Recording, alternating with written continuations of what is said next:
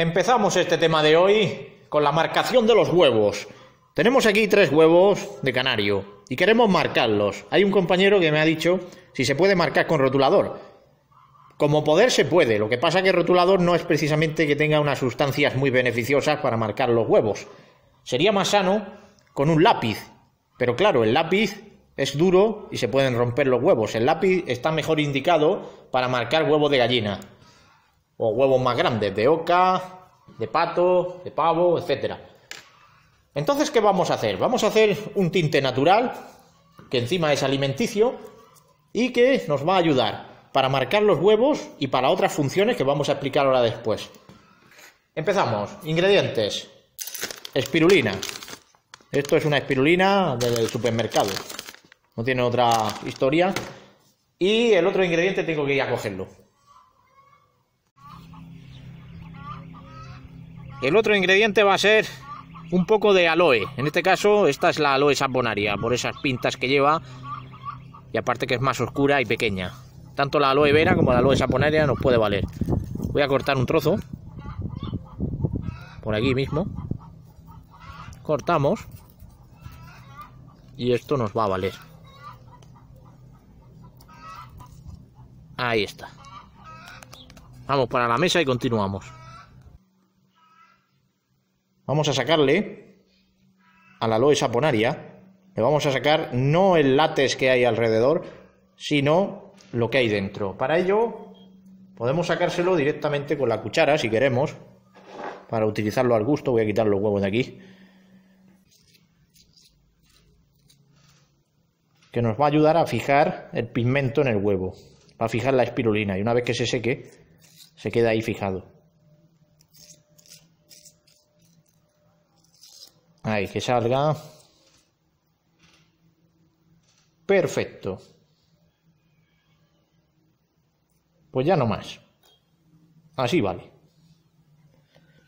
Y ahora lo que vamos a hacer es remover. Vemos ahí la parte del aloe, el gel con la espirulina.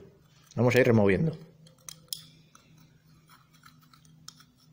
Que se vaya fijando. Mira cómo queda. ¿Veis? Esta pasta. Pues esta pasta lo que vamos a hacer es lo siguiente. Vamos a coger un poco de esta pasta. Mira. Lo pongo aquí. Quitamos esto, pongo un trapo para que se vea una cosa, sacamos los huevos. Vamos a sacar los, tres huevos. Y ahora lo que hay que hacer, con un hisopo, con un pincelillo, cogemos y hacemos así. Juntamos.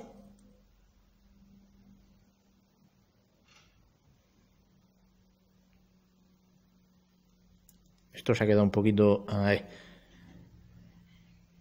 Muy bien. Y ahora cogemos el huevo y simplemente marcamos. Mira. Ahí se queda marcado. Y eso lo dejamos que se seque.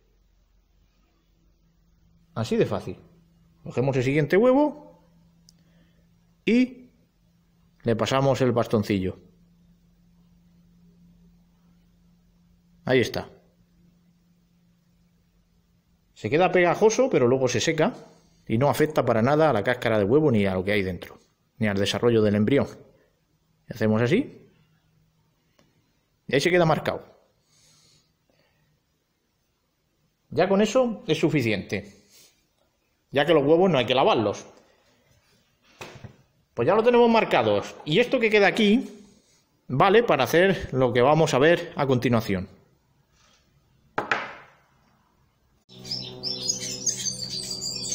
Pues otro uso que tiene es para echarle en las patas a aquellos pájaros que tengan cierta fijación de melanina que tenga cierto carácter melánico, como por ejemplo este híbrido de cardenalito por canario. Esto se echa, y como es pegajoso, ahora mismo estáis viendo que la pata es muy negra, porque le estoy echando.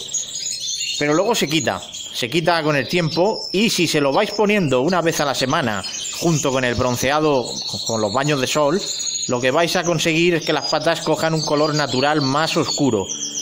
Como estáis viendo aquí ahora mismo, yo le estoy echando y se ve muy negro, pero esto luego desaparece con el tiempo. Conforme el pájaro vaya decastando. Aunque eh, esto solo funciona si le da el sol. La luz LED no vale. Lo que criéis con luz LED, olvidaros que esta crema, aunque tú se la eches, como no le dé la radiación solar, no vas a conseguir que se oscurezcan de forma natural las patas. Aparte se puede conseguir también por vía interna. La espirulina vale por vía interna y por vía externa, vale por los dos lados.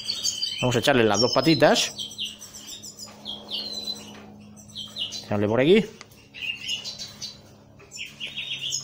Y con ello conseguimos que el efecto de esta crema, que aparte lleva el gel del aloe con efecto cicatrizante y regenerador de tejidos, más aparte la espirulina con los componentes que van a ayudar a esa melanogénesis celular que aunque sea por fuera el bronceado, la radiación solar, hace el resto. Vamos a ir metiéndolo por aquí. Hay que hacerlo con cuidado de que no manchar al pájaro, aunque ahora mismo no es época... Este pájaro no va para ningún concurso, simplemente esta crema es para que veáis lo fácil que es usarla para los huevos, que por cierto, los huevos cuando se seca, eso ya no se quita a no ser que sea con agua. Quiere decir que aguantan perfectamente la época de incubación los 13-14 días que dure la incubación, aunque los voltee la hembra o al pájaro que se lo ponga, o lo tengas en incubadora, eso aguanta. Aquí vamos a ir poniéndole la patita bien embadurnada de este gel con espirulina. Que aparentemente ahora mismo se ve la pata muy negra, pero que luego se esclarece, aunque si le vas echando de continuo, pues al final las patas se ponen morenas junto con la radiación solar que hemos mencionado antes. Y como podéis observar, las patas quedan muy oscurecidas, pero como he dicho antes, ese oscurecimiento se va con el tiempo, pero si se lo vas echando una vez por a la semana, pues junto con radiación solar vas a conseguir que las patas se oscurezcan de una forma natural.